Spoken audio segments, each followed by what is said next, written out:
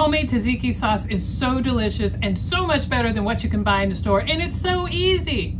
First thing you do is grate your cucumber. Okay. And now you're gonna wanna get all the moisture out of your cucumber.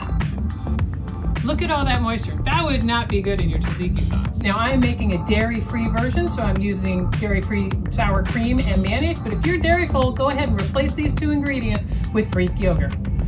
Olive oil, garlic, white wine vinegar, Worcestershire, lemon juice, dill, fish sauce.